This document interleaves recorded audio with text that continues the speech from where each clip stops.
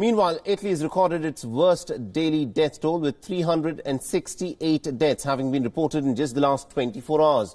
The death toll in the worst affected country outside of China now stands at a whopping 1,809. Italy now has a total number of 24,747 infections. The worst hit region in Italy is the northern province of Lombardy and Veneto.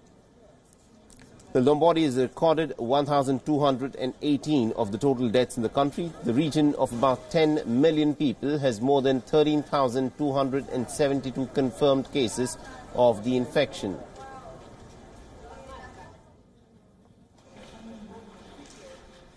Meanwhile, leaders have warned that the country could soon be facing a shortage of beds and artificial respirators. Italy's healthcare system is already reeling under the sudden influx of patients with essential supplies running out.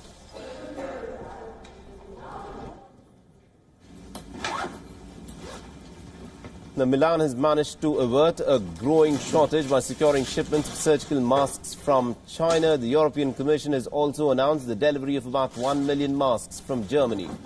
Meanwhile, Prime Minister Giuseppe Conte has said that his government is paying close attention to the situation in the north. The government is all set to unveil a new crisis plan that includes family relief measures such as parental leave pay and help for the self-employed.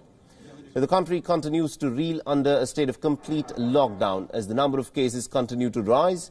Streets across Italy have resembled ghost towns after the government imposed an unprecedented series of controls banning all public gatherings. And this is what some of the most iconic tourist spots look like in Italy at this point of time.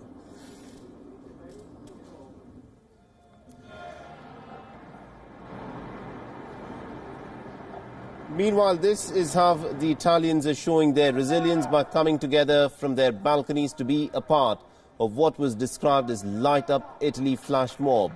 The quarantined it Italians took to their windows and balconies across the country to wave lights and cheer. The residents of Rome also lit candles at their windows to beat social isolation.